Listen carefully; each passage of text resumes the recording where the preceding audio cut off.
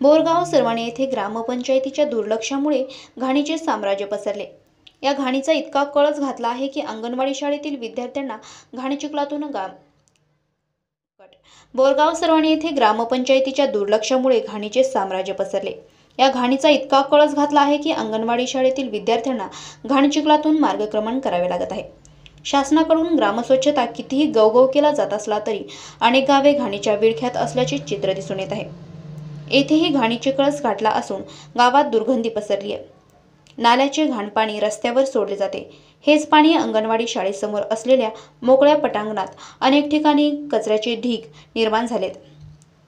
हगंदारीमुक्त गाव ही संकल्पना या गावात पोहोचल्याचे जाणवतच नाही. वाढती घाण अस्वच्छता यामुळे ग्रामस्थांचे आरोग्यही धोक्यात आले आहे. मात्र येथील ग्रामपंचायतीला त्याचे सोयसूतक असल्याचे दिसत नाही. घाणीचे साम्राज्य ही प्रशासनाने दखल घ्यावी असा संताप तंटामुक्ती अध्यक्ष युसुफ प्रसाद महाराष्ट्र मुस्लिम युवक प्रतिष्ठान तालुका अध्यक्ष इस्रार खान याकूब कुरेशी कृष्णा गोंडके पत्रकार शेख शकील शेरू जामदार इरफान आदी गावातील व्यक्ती करत असून अंगणवाडी शाळेसमोर संपूर्णपणे घाण आहे. हेच पाणी शाळेत येत असल्यानं सर्व ग्रामस्थ करीत आहेत.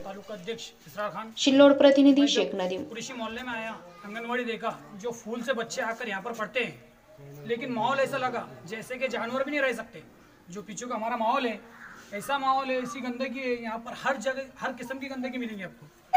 यहाँ पर इन्होंने माहौल ऐसा बना कर रखा, देखकर ऐसा लगता है कि यहाँ जानवर भी नहीं रहेंगे। जो खेत में कोटा होता है जानवर का, इससे सफ़ाई वाला होता है।